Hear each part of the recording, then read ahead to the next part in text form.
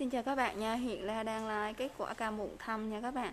Thì đây là ảnh các bạn thấy được ờ, trước khi bạn này tới la này Các bạn có thể thấy là bề da này rất là sần bì nha lỗ chân lông nó to. Hầu hết tất cả những cái da mà này là da dầu các bạn sẽ lỗ chân lông các bạn to nó sần bì như này và các bạn thấy mụn viêm không? Những cái mụn này nó bọc trong da và rất là khó chịu nha các bạn. Có nghĩa là nó cứ lên trong cái bì da của các bạn đây. Các bạn có thể nhìn thấy rõ đây là cái bề viêm mụn nha các bạn.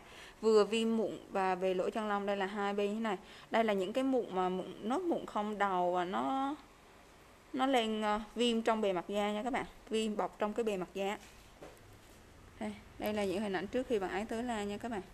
Đây các bạn thấy thâm không? Thâm này là thâm trong cái bì da luôn nha. Kết hợp với những đốm nâu trên mặt nữa nè.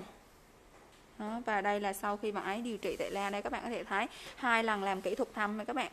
Sau khi điều trị mụn và hai lần làm kỹ thuật thâm thì bây giờ các bạn thấy làn da rất là sạch mịn cái bề mặt đây các bạn có thể thấy được đây là bề da phía bên này nha. Sạch mịn như thế này. Các bạn có thể so sánh được cái nền da này hầu hết tất cả những cái ca mà la điều trị thì các bạn đều được song song phục hồi hết. Có nghĩa là da mình nó sẽ đỡ đỏ rất là nhiều. Đây, các bạn nhìn nha. Đây là cái nền da trước nè. Đây nha, hai hai bên bề da như thế này.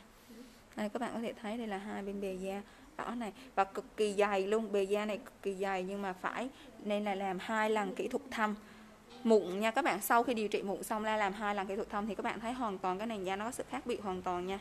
Lỗ chân lông cũng hoàn toàn cải thiện nha các bạn. Các bạn thấy nền da nó sần bì và lỗ chân lông to không? Nhưng mà đây các bạn thấy nè, lỗ chân lông hoàn toàn cải thiện nha.